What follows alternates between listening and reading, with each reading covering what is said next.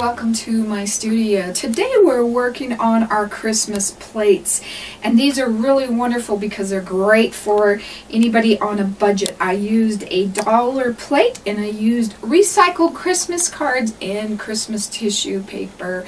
This is a great project. It's really fun to do so let's get started.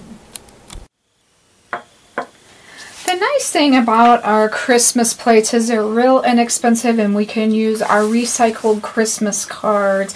I used to make these a ton when I didn't have a lot of money and I love giving them as gifts. Um, you want to find a plate that has the circle part in it and most places carry these. I picked mine up at Walmart for a dollar, so it doesn't get any more affordable than that. But there's other places that probably would carry them as well. Just look in there uh, where they would carry their dishes, and they're kind of a serving or kind of a side or dessert type plate. So um, look there for that. And then what I do is I find... Um, item around my house or you can use the Miriam Joy templates that's the same size as the circle on that plate to use that for your template. I really like this one because I can see through this one and of course if you have our templates at miriamjoy.com you can too. And just start lining up your favorite cards and there's so many cute ones that you can look at that you'll probably really, really like. And then what I did, uh, you trace around the outside and then cut on the inside of your line. And I just did a whole bunch at once so that I had several to choose from that I wanted to use. And so we've got that. And then I went and picked up, or you can recycle again your Christmas tissue paper or if you buy them, you can go to like Dollar Tree or somewhere like that. And then kind of pick out the color that works with your card. So there's all these different options. Like the green, it all blends in too well. We want something that stands out. The yellow's not bad, but I think I really like uh, the white tissue paper with our little kitty here. So what we're going to do is first put on our picture and I'm going to be using uh, Mod Podge. You can use matte, gloss, whatever you want. That's totally up to you. It's a personal opinion. And we always roll it. We never shake it to stir it up. And I'm just going to do this circle area first with my Mod Podge. And then I'm also going to do the cat, the little Christmas card that I have here.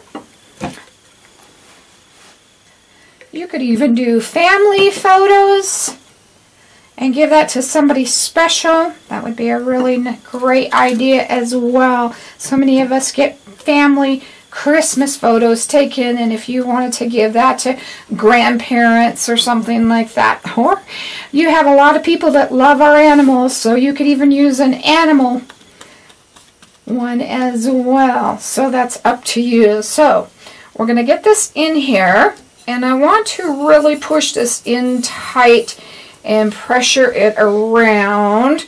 And the reason you're going to push it so tight is so that you don't have an air bubble in the middle, kind of like this one. It's okay. There's nothing wrong with it. I can just see the two differences between the two.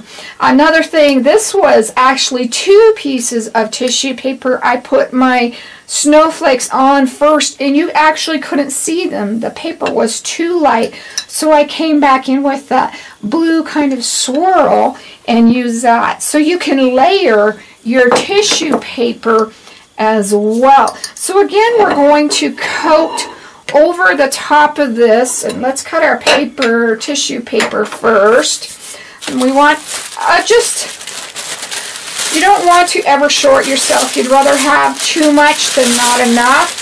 So I'm just going to give myself more than enough room here and cut that out.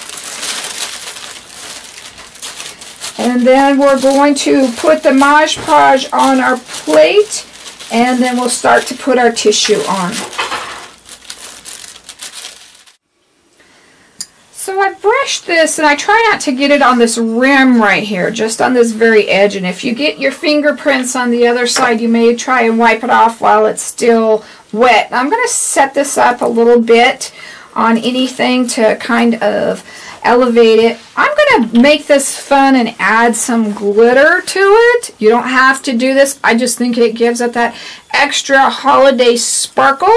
I'm using a little bit of red tinsel and then I'm just going to use just a little bit of some white sparkly as well. Now we want to hurry up and get this done while it's still wet before it dries.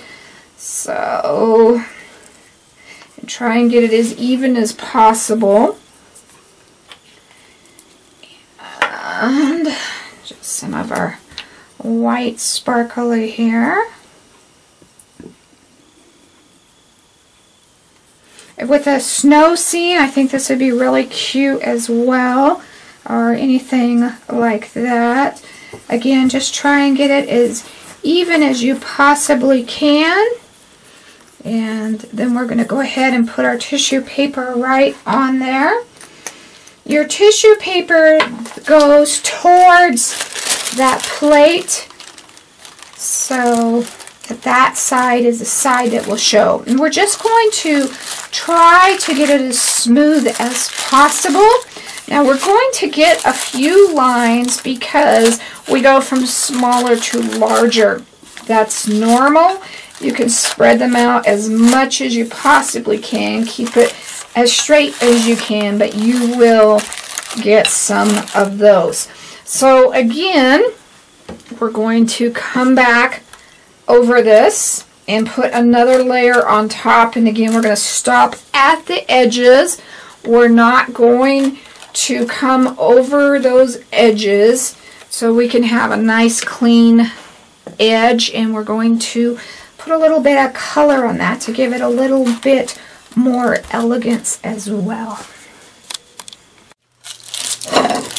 Once that has dried all the way, we're going to trim our edges. And I tried a straight razor and I've tried little scissors and just find what works for you. When I use a straight razor, I kind of went along the very edges but you may find something that works well for you. I'm just using little tiny craft scissors and I'm trying to keep that up against the edge of this plate and just trimming that and I think for me that seems to be what works best. Don't worry if those edges come up a little bit. We're going to come in and we're going to Mod Podge it one more time. Just trim them so they are not on the edge, but you don't want to trim them so much that it that you get behind the plate. So stay on the side of that plate. Once you're done with that, we're going to come in one more time because we want to get all those edges laying down. And we're going to do that again with our Mod Podge. Let that dry. And then we're going to come in and I'm going to use metallic Sharpies. You also can use metallic paint pens, anything like that. And we're going to give it that little bit of elegance I was talking about. So we're going to come in and we're just going to paint this edge.